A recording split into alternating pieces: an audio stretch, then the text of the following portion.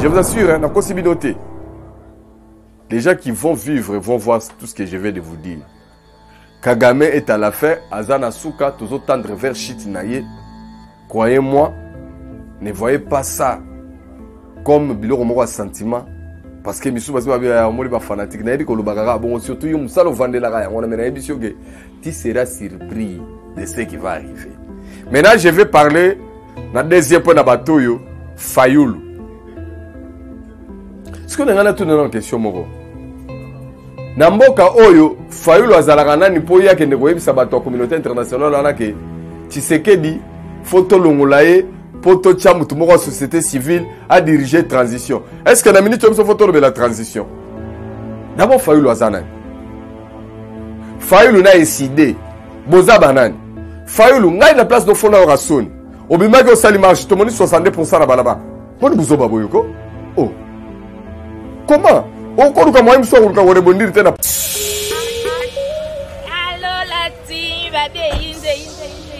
toza chez agnès business balobi a ah, totekaka biloko ya kalite ni par ailleurs toujours chez nous anya business nde makambo babi awa toza na cotil toza na makayabu toza na viande toza na makoso toza na poisson toza na huile toza na semoule toza na loso do nyonso oyo okoluka awa ezali na prix ya se agnes business en tout cas baprix na biso eza vraiment abordable tozana na biloko ya bien presque baarticle nyonso ozoluka obima ya froid makoso mbisi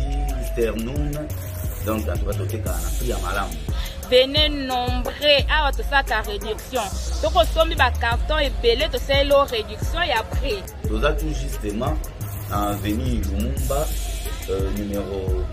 6168 derrière ya aéroport ya ndolo na kati ya lopango wana bachinois batekaka bavitre babenga yango wai so outi triangle ozokende vers kote euh, babwakaka babloko na ndolo toza wana venez nombre toza juste na limete awa donc awa nde balobi makambo tu ok en tout cas soki oyo kozala ma desite kozala ma bien servi bopatapata te awa nde chez ana business toujours tokos garant de l'indépendance, de l'unité nationale et de l'intégrité territoriale, je réitère mon engagement constitutionnel de défendre la patrie jusqu'au sacrifice suprême. mbote na bino balandi ya tindika tindika comme d'habitude na ye déjà bomomesano komona bino bozali ebele bamama bapapa bilenge bacongolais na bango mpe baétranger baoka lingala bakóma kokota makambo na biso mbote na bino mpe alors comme d'habitude naye koprêche bino prédication na ngai ezalaka base toujours na bolingo ya congo na ya ba congolais et puis euh, évangile boko bosana te soko moni te kondima te l'air est grave l'air est grave très très grave balandi ba congolais bampangi ya vincent bandeko na ngai bandeko yako bana betu L'heure est grave. L'heure est grave. Congo ekolobisa bababa na bato balobaka te bakoya kolobaka makambo ya Congo. nakomona Congo lokola IDPS. Parti moko boye bakongole ebele baka ba membre te mais balinga kopesa point de vue na bango na mambo elekaka na idps mambo eleka na baparti politique mosusu bakipaka na bango te mais likambo mosusu eleki na idps tout congolais a droit de mettre un point de vue sikoyo komi lokola likambo ya congo bato nyonso na monde balingi baemettre bapoint de vue na bango na makambo ya congo congo na biso ce qui est vrai biso moko bakongole toyebi na biso valeur ya kongo yango te parce que soki toyebaki valeur ya kongo tolingaki tolinga kongo makasi mpe tolingana mais lokola defaut toza nango wana eza mpe na defaut na biso toyebi valeur ya mboka na biso te biso na biso mpe tokipanaka na bavaleur te yango wana moye tolinga eza te bongo bango baétranger sikoyo bayebi valeur ya congo me balingi valeur ya congolais te yango moni bozosangana na bango na makanisi yango wana bozovandela mabe yango wana bozomedite mabe sur congo na badirigant na yango eza normal d'après bino mais ezali anormal parce que fo yeba ke congo eza na motuya makasi congolais azali na motuya makasi ntango babundisaka biso wana mpo bayebaka ke tozalaka soki tozalaki te balinga babundisaka biso te eh? donc combat oyo nyonso tozosouffrir buzoba nyonso na babwale tosouffrir oyo c'est parce que nous existons comme congolais donc soki tozalaki te bitumba mpe elingaki ezala te tala ntina toa na motuya nano yango wana e bitumba boyebi ke ebandi lelo te biso kutu lelo mwa connaissance eza moke bongo baancetre bongo bakoko na biso bapasi oyo bango bamona puiske bango niveau na bango ezalaki nao moke niveau surtout intellectuel niveau ya baréflexion ya bango ezalaki moke babundisa bango baboma bango bakata bango bamaboko basala bango nyonso bakoki kosala mais pourkui ngai na oyo tocomprendre kaka te ti lelo or ngai na yo falaki tocomprendre parce que toza mieux place sikoyo Au moins biso na yo tozo yeba jeu ya mundele. Toyebi yango. A mafiozo, a moyibi munene, ayibaka na stratégie. Ayibaka na manipulation. Ayibaka na ko tromper opinion. Et aye ayibaka na ko laver ba cerveau ya ba autochtones. C'est-à-dire que bino bakolo mboka bazwi ndambu ya echantillon na bino ya bandeko na bino propre balave bango cerveau bakomi koservire mundele kolo je au detriment ya bino bandeko na bango propre bazomanipile bango bazwaka minduki babomaka bazomanipile bango bayibaka mosolo ya leta so akomi na responsabilité abandi koyiba mosolo ya leta voilà à quoi consiste ce cercle vicieux qui gangrène le malheur de notre pays toza nde na kati ya stade wana mpo nayebi ke oza na philosophie no ebele elenda mayele mpe eza ya koleka mais réfléchir nanu ata na niveau oyo pour comprendre parce que il ne faut pas qu'on vous fasse un dessin pour comprendre ce qui se passe avec les hommes blancs sur nous le peuple congolais nous ce sont tous nos ennemis et la plupart des baza ba hypocrite baza na complaisance ya makasi soki otyeka te oya kolinga ye mingi koleka ndeko na yo justement parce que baza na discours moko ya bakorbo discours moko ya flatterie ya makasi bonsoir bonsoir ma communauté ma communauté congolaise awa eza mpa na bino na all nation store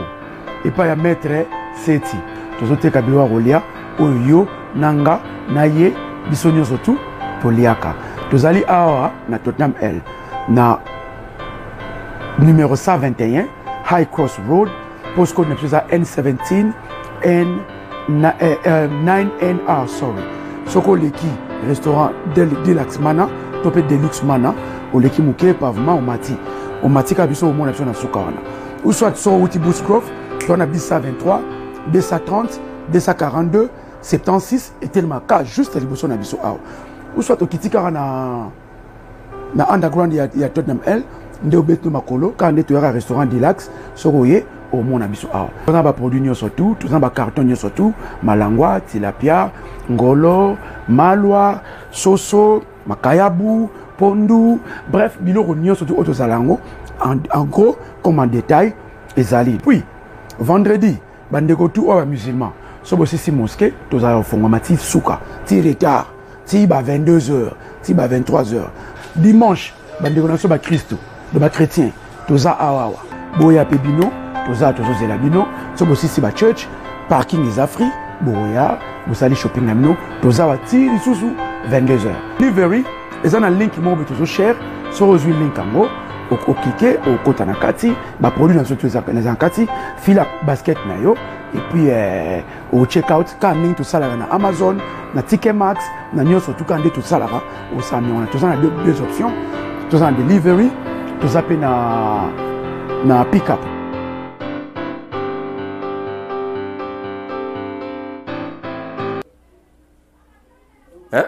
ya ba renard oyo mpena bino moi mpena non azoye biso maloba moko ya kitoko soki oyoki yango yo okomi kofaire reve na kati ya maloba nozoka seke noza na kati ya réalité nzoka nde bongo te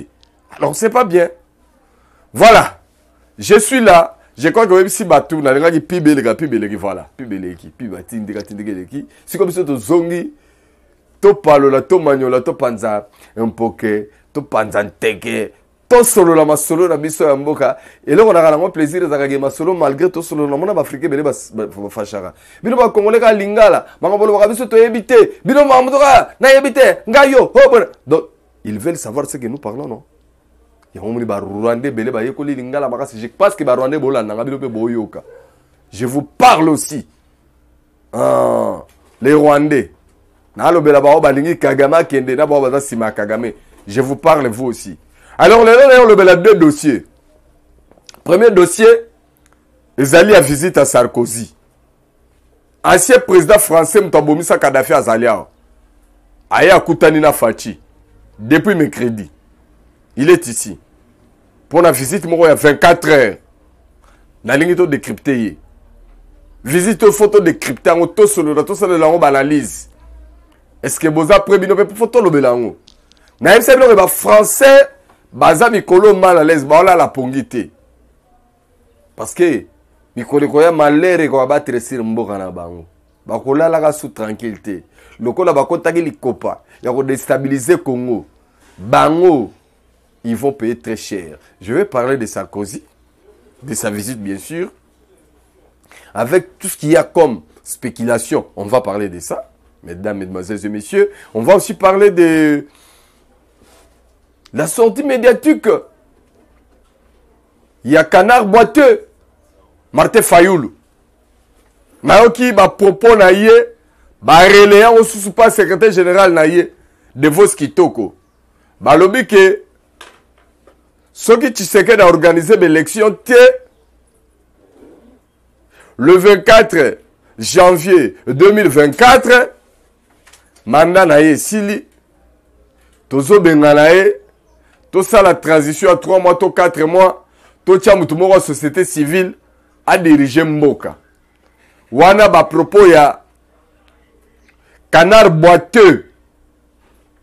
martin fayulu président non eli na réalité mais président eli na molili na facebook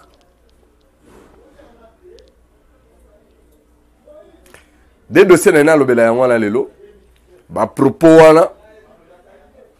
na visite ya sarkozy sarkozy depuis tisekedi aza président aza lokola deuxième ancien président français aye na mboka na biso plus oyo aza na exercice ça fait trois présidents français au cours ya mandat ya tisekedi eske ezoloba likambo eske eza na likambo eske eza na problème biso oza koloni français te me likambo nini bafrançais bazoyaka kotingamaka biso françois hollande ye ntango ayaki yaki kokutana na tshisekedi te yaki kokutana na mukwege macron aye akutani na tshisekedi alongwa mpa tshisekedi akemela castel na bandali na fali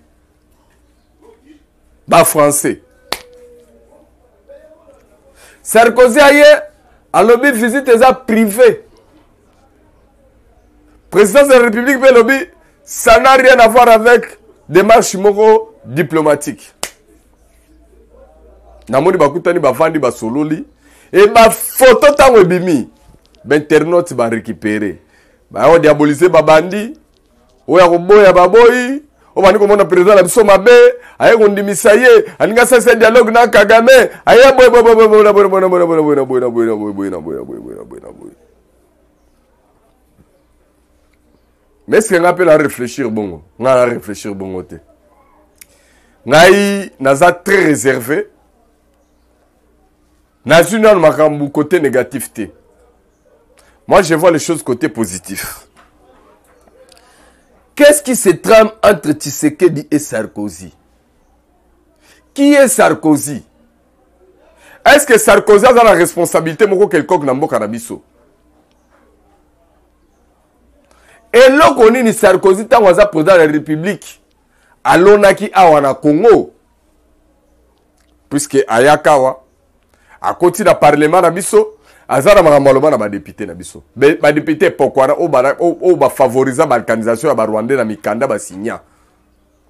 qu'est ce que sarkozy a dit sarkozy na epoke azalaki président ya république aye awa aye koyebisa badepute na biso ke ebongi malamu lokola bino boza na barichesse ebele alors barichesse na bino lokola eza ebele tellement misusu ezali ti pembeni ya bapays oyo bino bokangami na yango ngai namoni ke mpo kimia ezala il faut bosalelaka barichesse wana bino nyonso na bavoisin na bino biloko sarkozy atikaki awa yango wana en même temps lui-même sarkozy asalaki nyonso mpo azongisa relation diplomatique france na rwanda oyo ntango ya jacques chirac esimbaka te bino moko boyebi françois hollande ça n'a pas aussi vraiment marché mais sous sarkozy ça a marché et sarkozy akita ntina kigali et lorsque sarkozy akiti na kigali bareprendre relation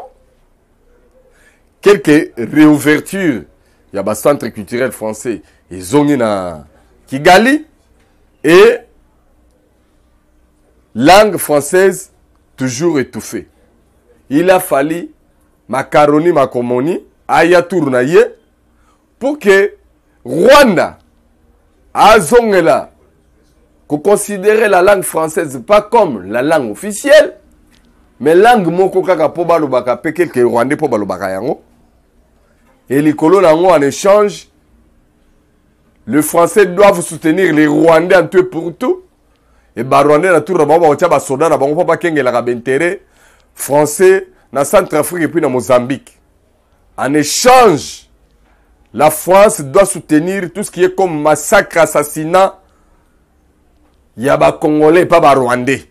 Et la France a le devoir de fermer les yeux, de ne même pas tousser, parce que ses intérêts sont sauvegardés par ce contrat entre Paul Kagame et Emmanuel Macron. Et comme cadeau récompense, Macron va oser donner la gestion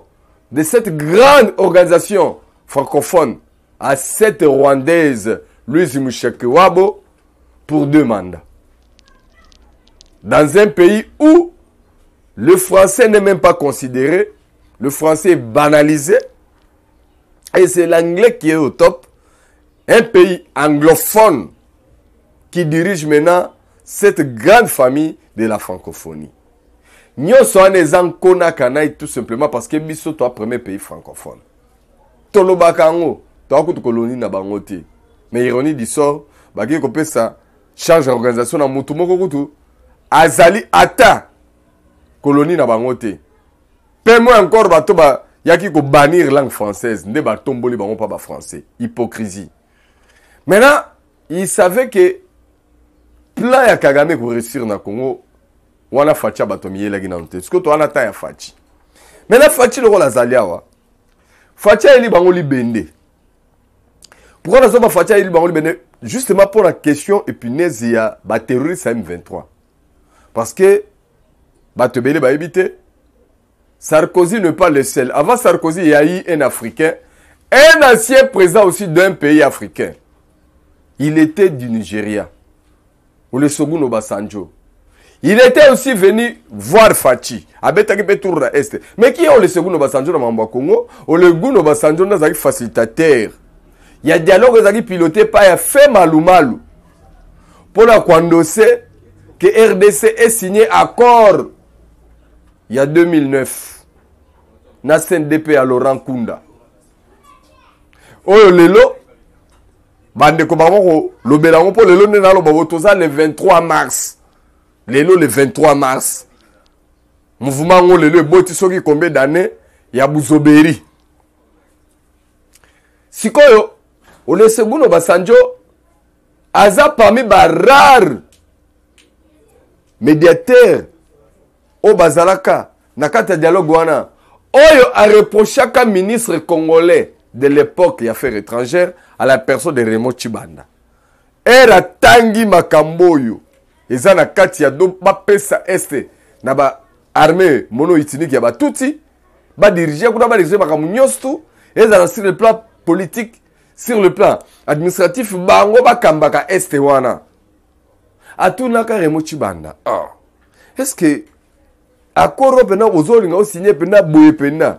or remo chibanda azwaki ordre eutaki na hiérarchie nani azalaka na hiérarchie wana il y avait que deux personnes qui chapeautaient C'était Joseph Kabila et Paul Kagame. Donc, Raymond Chibanda a eu à signer sous pression et puis sous ordre que ba signer mboka ezala balkanisé au lesobuno basanjo muto assista. Et muto yako pesa bénédiction soko po makambo ezala bien, c'était maintenant Nicolas Sarkozy. nayebisaka bino ke faci ndenge aza wana azolanda misisa parce que ntango bakokata misisa makasi ekokauka mosisa liboso nayebisaka bino akutaka na roi charles banglais bakolokop lelo autaki kokutana na olesekuno basanjo sarkozy aye bazali baancetre ya cope oyo ba sarkozy baa na kati ya cop yango wana fo basolola na tshisekedi bakosolola na tshisekedi nini tshisekedi aa na besoin ya belema mosusu eza ebele parce que asa yoki mingi asa moni mingi na oyo ye moko asatandaki teke nzoka esalama boye me lokola belema sika ekoti mpo boyeba ke bapeshe ngolo moko ya monene aza na prison ya makala il faut etelemisa basarkozy place bavandaki tout le monde est agité maintenant est ce que bakotanga ngai mpe est ce que akotanga mpe nga est ce que akotanga akotanga mpo magistrat ya pays aye félix antoine tshisekedi tshilombo l'homme que dieu a établi le vrai juge oyo azolandela makambo ya kongo sikoyo makambo ya kongo tokolandela yango ti ti ti ti ti sikoyo kote bapesaka bambongo nde omoni tumwa bamouvement citoyen mike mike elamuki to baparti politike ya ngwanzu elamuki bato bakufaka baza susu ata na gaz te balamuki mpe baoganga tshisekedi fo alongwa tshisekedi tshisekedi akolongwa te tshisekedi akolongwa te bozalaka na option moko boboma ye so bobomi ye te yebaka kolongwa te aza wana maintenant soki yo nde otyaka tshisekedi ya kolongola ye sarkozy aye mpo tshisekedi na kagame basala dialogue basala mede on va pas dialoguer tshisekedi ana besoin ya dialogue te so tshisekedi azalaki na besoin na dialogue na kagame est ce que falaki eloka baintermediaire yanga bisaka yaka to dialogue te mbele ekutu esesamaka nango banda kala toko dialogue nini nini topesa te papa wemba kutu ayembaki basengaki biso ko pwabali topesi bango bidon bidon ndenge nini donc joseph kabila akomaki président ya république eleki na kopo ya mai james kabare bakomaki chef d'état major général eleki na mai ruben akomaki vice président eleki na mai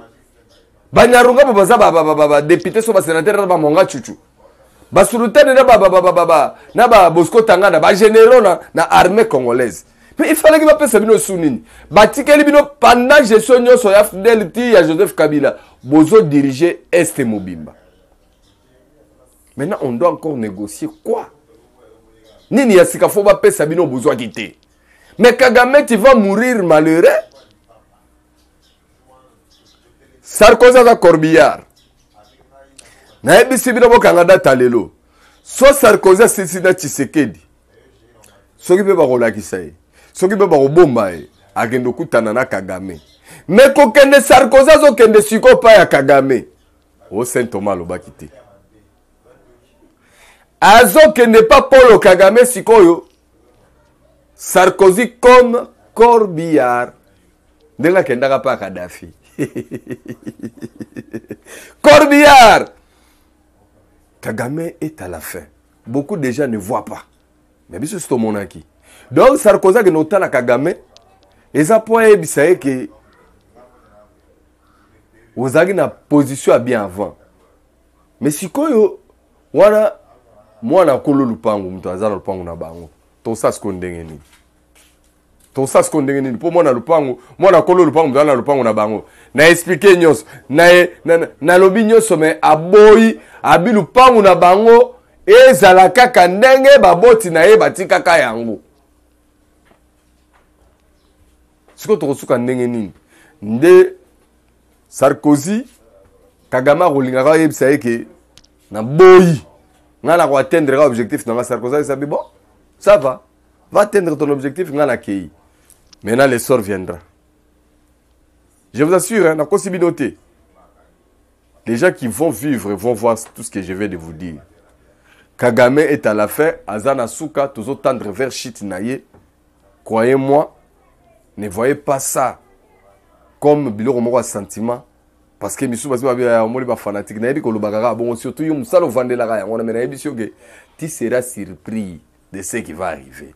maintenant je vais parler na deuxième point na bato oyo fayulu sikoyo na ngai natuna na question moko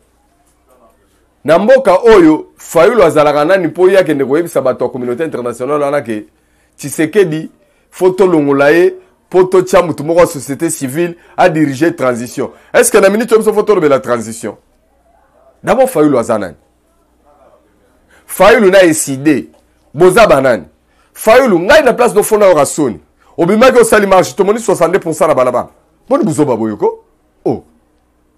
comment okoluka moyen mosusu akoluka korebondir te na voilà donc oza na moyen mosusu akorebondir te na politique mais na, na, na, na se réserve nano na oyelo prochainement fayulu nakoya na ngai nasisa no lelo mais nakoyela oyo enikema kaka nakoyaka dossier ya fayulu na bapropos na ye nini nayaka kodebattre yango bozalaka bino nkolo azala mpena na bino abatela bino consommer d'abord Sarkozy, Fayulu, la semaine prochaine, boko raté te, tant que week-end bon on laisse nos Fayulu sans problème, sans problème, ça ba fourchette, na ba kanya, na ba lutu, pour bolia est très bien. Merci Nabino Bozagi Belé, Biumboui, euh, Refé Gisso, Mena Papi Kelly,